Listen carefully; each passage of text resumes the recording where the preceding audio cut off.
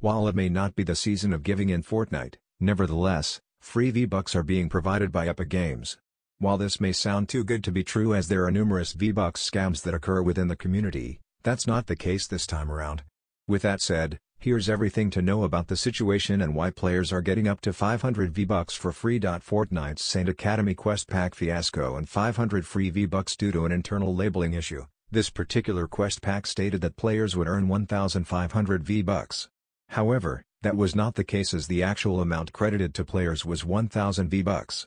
To elaborate, the cover image of the quest pack mentioned that players can earn up to 1000 V-Bucks. However, the finer details inside the pack mentioned 1500 V-Bucks. Given that the details mentioned inside the quest pack are more important than the cover, players took note of this information and purchased it accordingly.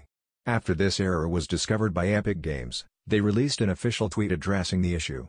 Shortly after, another tweet was posted, stating that it had been fixed. Even so, within that brief time period, Several thousand Fortnite users had already purchased the pack with the intent of earning 1,500 V-Bucks.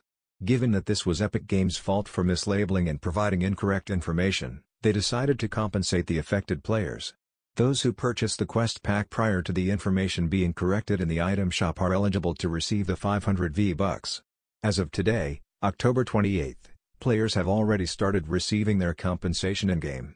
Those who had purchased the Saint Academy Quest Pack before the error was fixed will get 500 V-Bucks, no questions asked. However, not everyone will be eligible to receive the V-Bucks. It will only be given out to those who have purchased the Saint Academy Quest Pack before a certain internal issue was discovered and fixed by the game's developers.